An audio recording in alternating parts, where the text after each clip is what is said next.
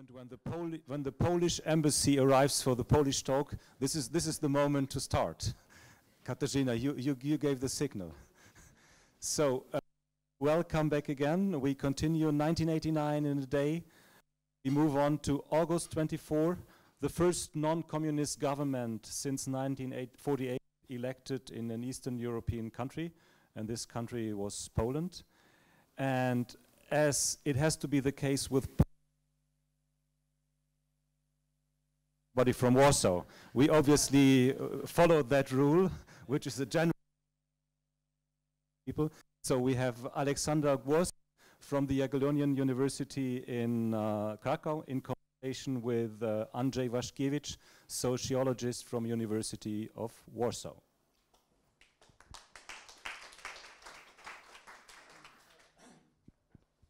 we arranged that, that I will start because I am a new fellow. Came only the day before yesterday, so let me take the opportunity and introduce myself to my fellow fellows. Uh, yes, I, I happen to be the head of the Institute of Sociology, but on sabbatical. And um, I'm not much of a sociologist, in fact, I'm a historian of ideas. And I am a Boomerang Fellow, one of the numerous Boomerang Fellows in this institute. Uh, the institute hosted me uh, 12 years ago. I was working on my habilitation book, which stands somewhere over there. Mm, uh, and, and I think it's, it's, so much for myself and now to the point. Uh, we were asked kindly but sternly to start our talks with uh, personal recollections and I must admit I had very few. Instead, I remember very well the 4th of June, the day of the first semi-free elections in former Warsaw Pact. And I cast my vote early in, in, the morning and stood all the day in front of the, the polling station with the banner how to vote solidarity. Keeping in my wallet um, insurance certificate issued by, by the Solidarity Civic Committee, just in case the police approached us. And, and it made my day, actually. But the 24th of August, I spent on traveling around. So I came home late, watched the late news, and so Tadeusz Mazowiecki, just elected the prime minister, uh, stretching out his arms and showing V sign from the left to the right and from the left to the, to the right. So my impression was that he was acting like the Pope, uh, showing this gesture not to the chamber, but to uh, Urbi et Orbi, to the city and the world. And, and this picture frozen in my mind, and it was repeated many, many, many times. So I, I can't remember if I had any exalted feelings, uh, although I, I, I, had good reasons to have some, because I got married shortly before, I finished my studies, uh, one faculty, and, and, on top of that, I got the driving license with the very first attempt which is not a piece of cake in, in, in big cities in Poland. So one would say a perfect timing to step into mature life, uh, into a, a, new country. Uh, so it is. I don't have, unfortunately, or maybe fortunately, uh, any personal recollections of this event, but I have many impressions. And uh, my perception of this Something event. wrong with the microphone. Is it? Uh, oh, so what should I do? it's okay? Oh, okay. Uh, so my perception of this event is quite uh, ambiguous, uh, I have to admit, uh, ranging from a very positive to quite confused one, which uh, is rather typical for a contemporary Polish mindset, I would say, not excluding or maybe ex uh, especially young generation, which is dependent on the on the narratives of others. Mm, uh, but maybe before uh, it's, it's ranging between very positive and very confused ones. And, and this positive, uh, very, like first, very positive gut impression, I would say, it is granted, it's something I can call maybe personal historical memory, which is based on my lectures, on the narratives I grew up with, uh, on my uh, on the movies I watched, on the broad this retro TV broadcast I also watched, as opposed to the uh, public historical discourse and political memory as it is shaped right now in Poland. And I think it's it's worthy to be uh, sincere about this ambiguity from the very beginning. But before getting into any controversies, I would like to uh, expose this very bright side, which is my first impression of this event, uh, which is not only very positive, it's very empowering and very fascinating and, and so very full of hope. Uh, especially that I think about this date and of, of forming the first government and the preceding elections as uh, ground that is this larger, as an epitome of this larger process of democratization in Poland, uh, of, of, Poland, which began at the beginning of the 80s with a solidarity movement, and which then formed this little nuclei of democracy uh, in the factories, in, at universities, at, at, uh, in private houses, in churches, and which then formed this social dynamics which, which as I imagine, had to blow up with, uh, with uh, iron frames of, of existing order. And um, this bottom-up uh, uh, civic dynamics is what really fascinates me about this, about this date and, and about this process because it's so also because it's so different from what we experience right now and what is what how politics and how public sphere is is shaped uh, there is one book which I think very well captures this, this process of uh, inner democratization of Poland. It's Bronisław Świderski book, Gdańsk uh, mm. and Athens, which title may seem a little bit bold and far-reaching, but I think that it really shows what happened, that there was this new quality, that, is, that, were, that there was this radical novelty in, in, in human relations and, and this uh, kind of movement in the human spirit, new quality of, of communication, which then, which then just had to, had to bring new quality in political life. Uh, and this experience of, of this inner democratization, this human flourishing also in the public sphere is something what, what, what I guess unites Gdańsk and Athens and which differs my generation, my experience of my generation from from yours, mm. because uh, for us democracy is given. It's, it's yeah, yeah. But it's a valuable gift, but uh, also something we can be very capricious about, and we indeed are when when one regards the. Uh, voters turnout of uh, of this, uh, of this year's um, elections, last month, month's elections, which which uh, where the youngest generation was, was the least to vote, and the, the turnout was uh, almost 20% lower than the average one. Mm-hmm. Mm, and uh, maybe we can tackle this issue later, but uh, maybe one of the reasons is the fact that we are deprived of this very formative and very beautiful experience yeah. of, of touching the core of freedom as, as, as you did, and also um, experiencing public sphere as very ethical sphere and a good place, place of solidarity. And what I particular, particularly love about this, this period and this date is was also its very creative touch, in that sense that, um, of course, revolutions of solidarity was uh, was uh, prepared not only by, by political leaders, but by intellectuals, by priests, by artists. And what, what gave it, firstly, its very non-violent and very ethical touch, but on the other hand, also with very creative touch. And um, for example, I haven't seen uh, better political design than this poster. No, Gary Cooper at High. No. No, no. No. Ah, yes. And also, I also He's carrying a badge, solidarity badge. On, uh, you see there. And also, I just really love uh, the story how uh, the end of communism was announced in Poland. It's very famous by us, but I'm not very sure that if, it, if it's so famous at international area. And I, but I, and I just love it because it was not uh, any political figure who, who announced it, but it was a young woman and an actress who was interviewed of a day on of elections on television uh, on her career, and she just took this opportunity to say something like, "Oh, on the on the day like this, I don't really care about my career, uh, because, ladies and gentlemen, today is the day when, when the communism in Poland has ended."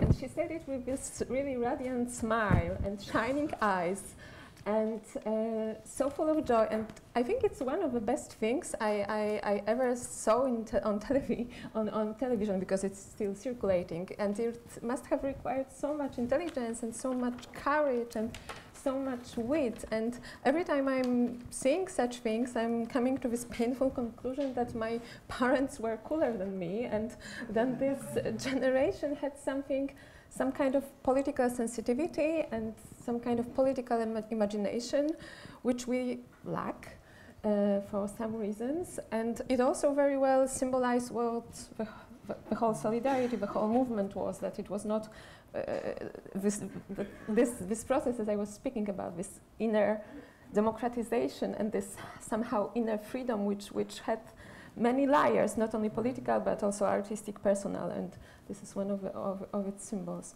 And uh, speaking about this, this very empowering experience, I would have a question uh, to you. Uh, if you have, um, what is your most beautiful or most empowering uh, experience of freedom uh, from that period? It doesn't have to be the election day, maybe something something from the whole period. And asking the question, I have in mind uh, one story which I once read about about uh, one journalist uh, crossing the uh, border of Gdańsk shipyard at the mm -hmm. time of Solidarity when he was um, it's maybe shocking, but he was intoxicated with freedom, I, and mm. he had all the um, bodily reactions of intoxication because, the, as he recalls, the atmosphere outside was so different from the atmosphere inside that it was so novel, it was so different that it mm. just was caused this shocking reaction yeah. to. I, I, yeah, um, before I answer your question, could you repeat what the famous actress exactly said on that day? Uh, if, if you can't remember, I will do that. I, I can remember. She yeah. said what I. Uh, she said on the 4th of June, on the 4th of June, the communism in Poland is over. On the 4th of June. And that is the sentence I would like to, I'd like to start answering your question because uh, half of the uh, many Poles would be surprised and deeply disappointed. Uh, look, having, having, um, having a look at the list and not finding the 4th of June at the, at the top of it. Why? Shame on you, Ludger. we, the Poles, the Poles uh, have the pride to have triggered the whole process. It, it didn't happen on the Austria-Hungarian border. It happened in the shipyard oh, a decade ago, or it happened at the first semi-free election. Yes, next time, next time. And then the point is that the, the, the, particular day you asked me for was just exactly the, the 4th of June. The 4th of June, the, let me repeat it, the, the, the day of the first semi-free election, semi-free election in the Warsaw Pact, somehow overshadowed the 24th of August the day when Tadeusz Mazowiecki was elected prime minister. Why? Now, we take it simply for granted that forming government follows the election victory, as it were natural in, in uh, 30 years ago. No, it wasn't. It was a dramatic change. It was a twist of history. But somehow we tend to underestimate the importance of the day, of this particular day. We, we, we stick to the 4th of June as the day of the break, as the, our D-Day. Why? Because on that day we defeated communism. We defeated the enemy. On the, four, on the 24th of August, we made our enemy our coalition partner. The first one is a kind of military experience. We defeated the enemy. The second one is a political experience. It's quite a different tradition. And the Poles are not good at politics at all, believe me. So it doesn't fit to the whole tradition of the Polish way to independence. Yeah? That's I'm not offended because I understand the politics as politics. Uh, but uh, my country folks uh, certainly would be. Um, but why is this, uh, um, this experience of freedom you mentioned so rare to find in, in the population? Because uh, you see the Mazowiecki's government um, is well, it is connected with democracy, freedom, and all the beautiful things that follow, but not always with that. It is also associated with uh, shock therapy, economic reform. And this reform uh, has brought about the new liberal capitalism. And it also associated uh, with the, the so-called oh, thick line that Tadeusz Mazowiecki wanted to draw to separate the future from the past. And it was, from the very beginning, deliberately misinterpreted as a kind of oblivion, as a kind of forgiveness to the people of the old regime, and the promise they would go unpunished. So there is a black legend of this government as well. There's a black legend of the roundtable talks. There's a black legend of the Lech Wałęsa engagement and leadership. Um, for the proponents of this black legend, Lech Wałęsa was simply a Secret Service collaborator, one of the many. It just happened to him to be the, the leader of the union. And in fact, he was not that, that uh, somebody else. Uh, so uh, the, the Poles are divided over this issue. The Poles are divided and mm, uh, it's not for everyone as it's for us uh, that we associate this with, with the, all these good feelings. We have got these good feelings and good memories of that. Now, um, please. But before maybe we get into this division problem, yeah. I would like to get back to to the date and uh, if, if you. Uh, I have a question. Do you, do you on the 4th of, uh, 4th of, uh, of um, uh, uh, June, did you really expect it? Did you really expect the solidarity to win? Because I was once reading Professor Andrzej Zoll recollection, and he was engaged in this in this committee ensuring the fairness of of elections, and he said that three days uh, before mm. before elections, the party uh, issued some kind of um, news, like the first fake, fake news or the propaganda news in the med media, that whoever will, will vote for the uh, civic committee uh, will, uh, this voice would be invalid. Of course, the, the society did not uh, follow, mm. but it only shows the fact that they were, the, that the communists, they were not really expecting this, this, this unanimous uh, victory. And mm. was it so obvious? Because it's for obvious me now, but was it obvious obvious for you, or were you surprised that? Uh, the, the landslide uh, victory was uh, not expected by any, anybody but me, I would say. no, no, there's a trick, of course. Um, you know, the, mm, uh, well, it's a, it's a, good question because it, it shows how the, why the Poles are divided. Because the, the way the, uh, the power was handed over divides the population. I mean, there are people who take it for granted that there was some plot between the old elite and the new elite. Mm. And the roundtable talks was a nice and day to, uh, to, to, to run the things as they are. And, but the election victory, um, well, let me remember, um, let me um, quote the data. um, there was a deal. There was um, that uh, Solidarity will run for uh, 165 seats, and Solidarity leaders resisted for being given a quota of seats. the, they insisted on the free elections, on this limited range of the seats in the parliament. And they won all of them in a free suffrage. And there was completely free elections to the Senate, the higher chamber. All by one, taken by Solidarity. So that was, it seems to be the power of Solidarity was uh, enormous. But in fact, the support for Solidarity was not so great.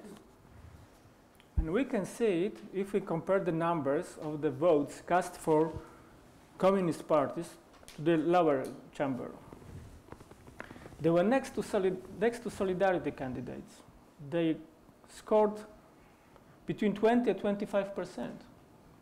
So why is such a big difference between the hurrah victory and the support, and the balanced support for, for Solidarity and, and communist parties?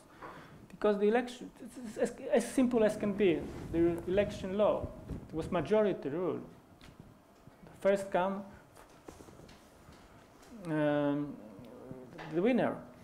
So um, no, hardly ever, there was only one, one social scientist um, who claimed to have expected this. That was a, a rational choice theory, Marek Kamiński, who published in uh, 1997 an article in a Polish sociological paper. Um, uh, and he explained what would have happened if there weren't, if there hadn't been the majority rule. Solidarity could have grabbed only 145 seats. Not enough to make the coalition with the former allies of the communist parties. So what would have happened then? There would be a, the business as usual. The Communist Party would um, the, would, would make the coalition with the former allies, and there would, be, there would have been a tug of war between Solidarity in opposition and, uh, and, uh, and, the, and the government, commun still communist government. But why Solidarity made such a concession and uh, were happy with 36% of the, of the seats in the parliament? Because those seats gave them a veto to the, on the constitutional issues. So that was a blocking coalition, not the winning coalition, as the rational choice theorists say. And that was enough. So solidarity leaders didn't expect it as well. Actually, many of them were scared when hmm. this proposal came out that we will make their government. Very few wanted to get involved. I have some friends hand uh, relations with, uh, with uh, and I remember that the talks with the people, with my, actually my, my, my colleagues, uh, whose parents were uh, involved in the process of forming government. And we were not so happy as we can think today. So this, this joy was uh, kind of overshadowed and, and diminished by the, by the fear, the fear remember that uh, the limit, the, the well, say that the, the, the, horizon is our limit, but no, that wasn't like that.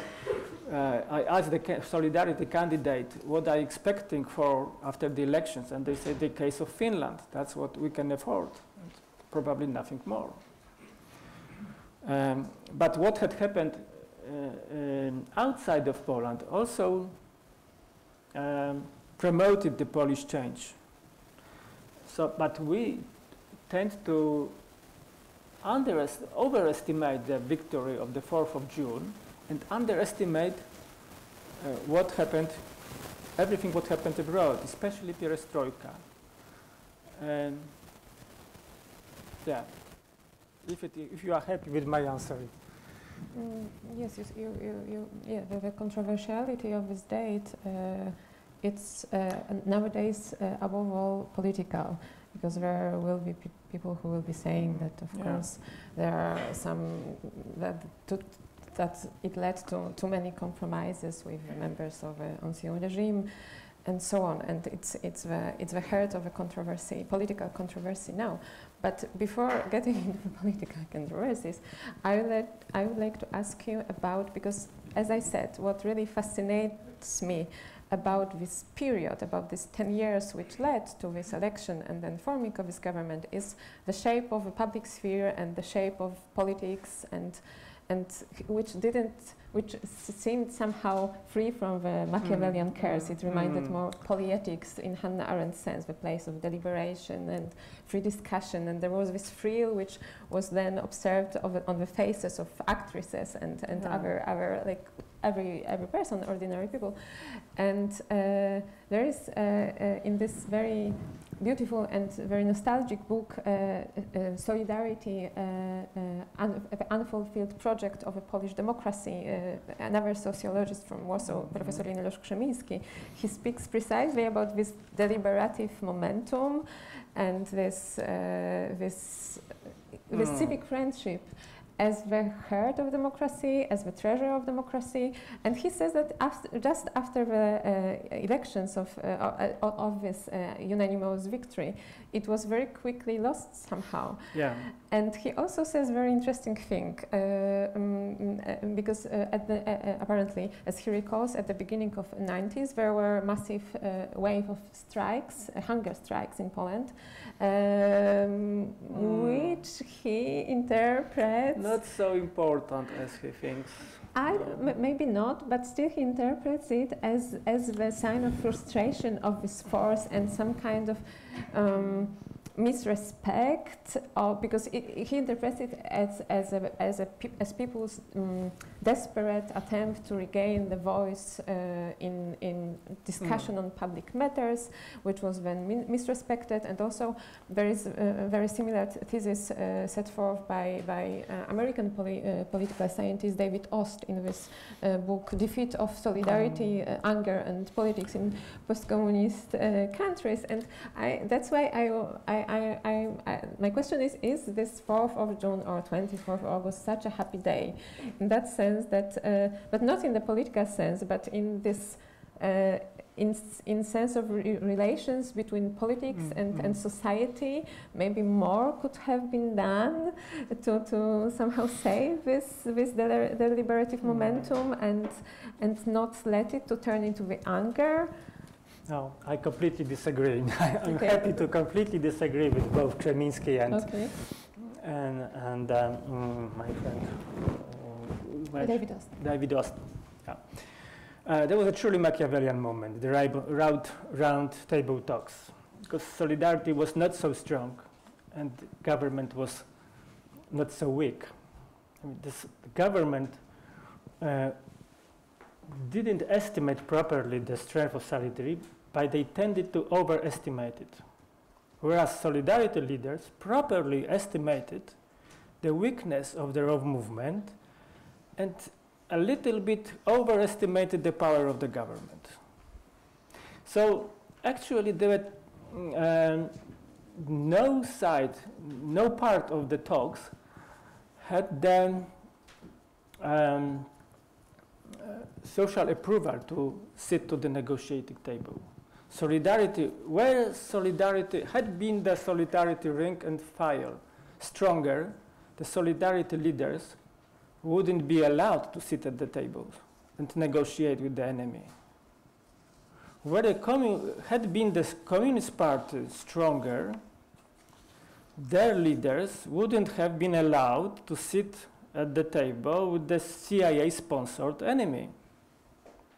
Both sides were weak, weak. Uh, uh, they were equally powerless, I would say. This is something which uh, Samuel Huntington's nicely shows in his analysis in the third wa- way of, of democratization. That was the precondition of the, of the negotiations. That nobody could win the other. So, in fact, they were both traitors. They were traitors of both sides. because the um, solidarity leaders uh, took the, the myth the, of the great solidarity to present themselves to the government and to the population as the representatives of the social side, so the representative of the whole society, uh, and not the representative of the of the uh, trade union.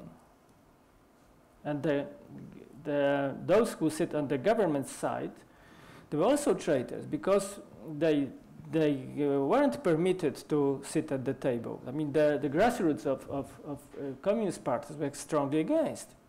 We can't remember, but they were strongly against.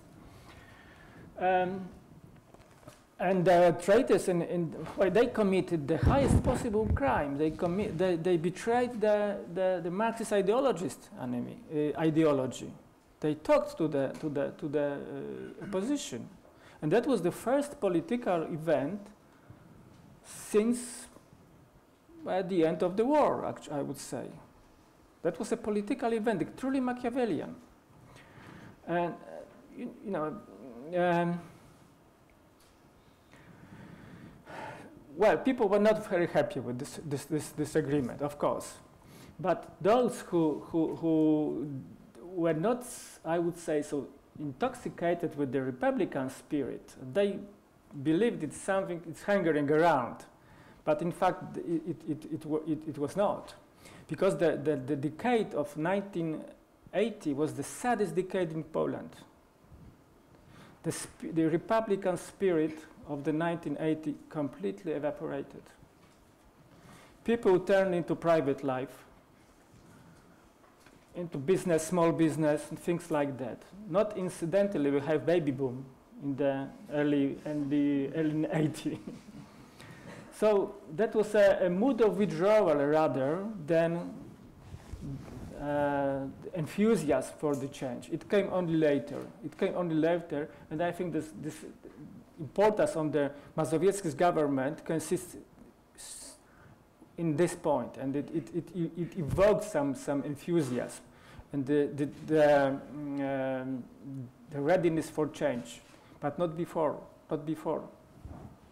But why, why was it so sad and why this Republican spirit evaporated? That was my, my question because I was somehow maybe looking for, for reasons in the politics itself and how it was made and shortage of the shortage of everything.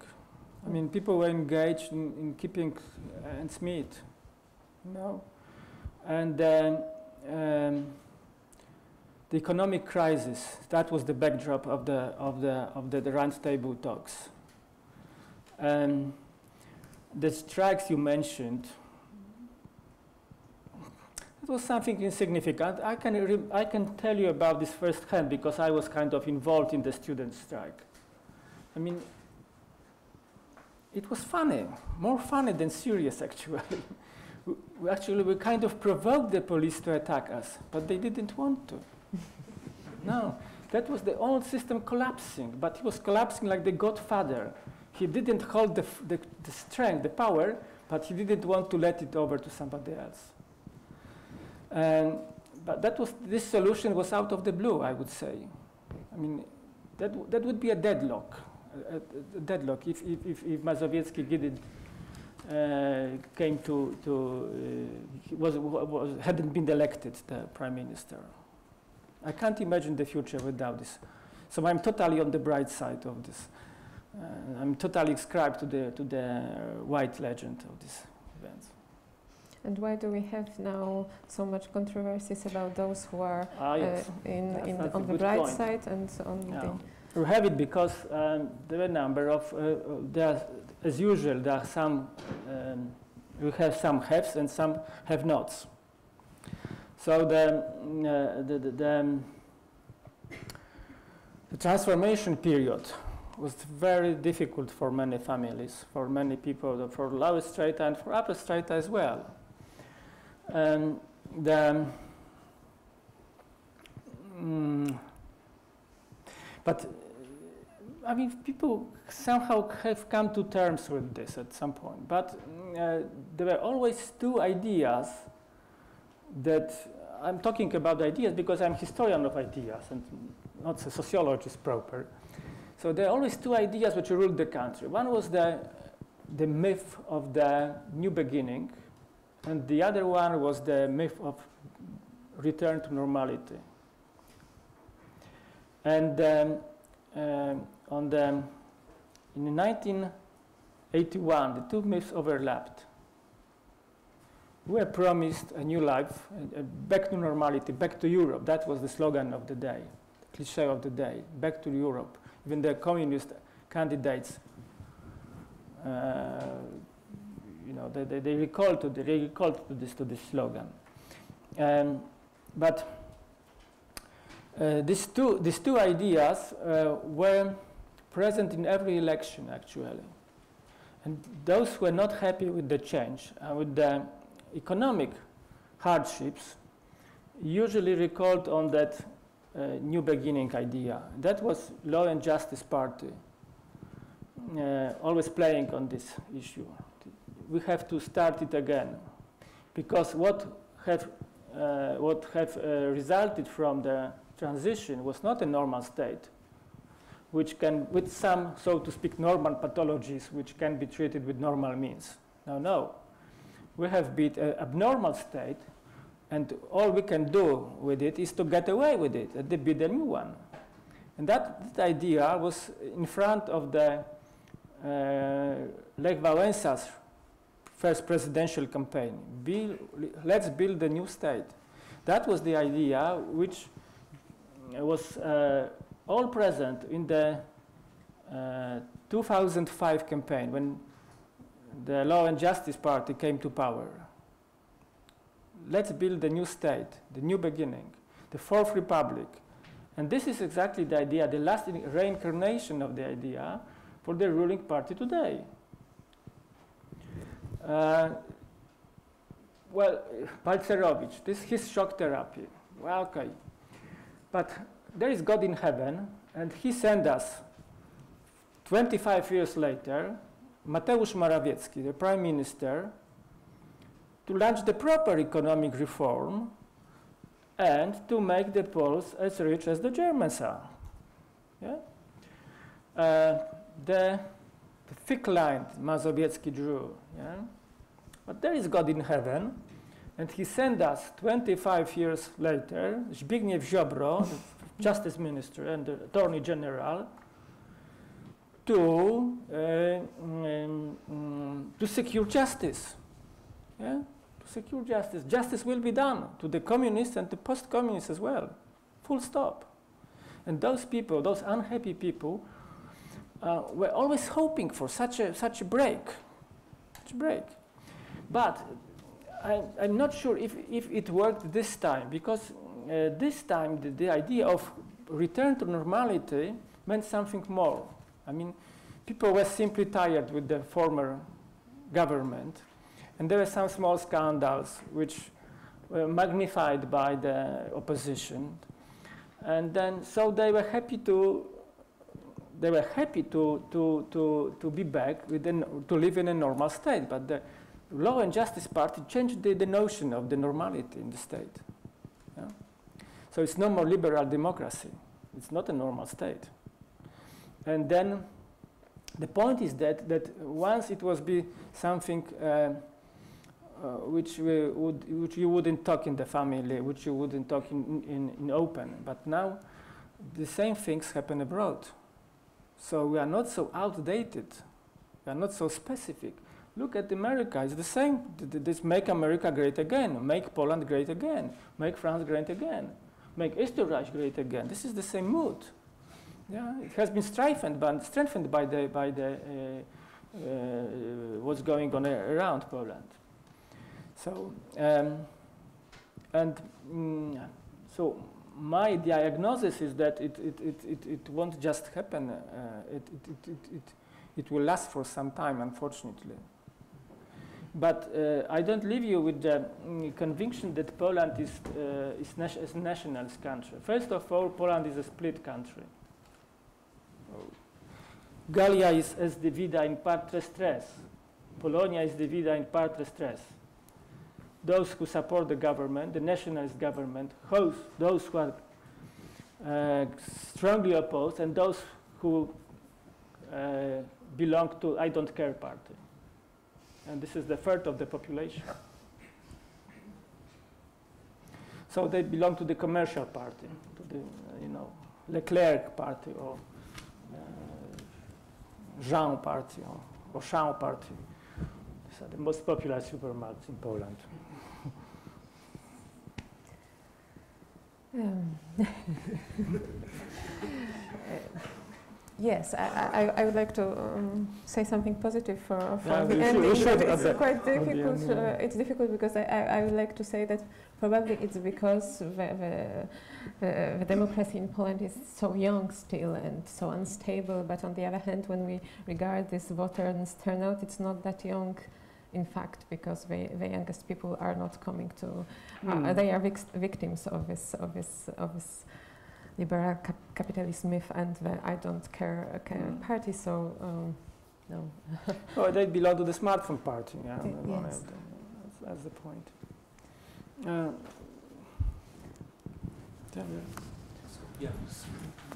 I wanted to give you the chance for a final word. Uh, Um, but you still want it, or I'm not sure. I mean, you know, they say that, that prediction is always difficult, especially as it concerns the future. yes? so, uh, but the future is uncertain. I mean, the future is uncertain, and, and I am not so pessimistic as. Um, uh, but mm, you know, who is the pessimist? The pessimist is something who, despite all the signs which show that it's going for better, claims that it's going for bad, and the vice versa.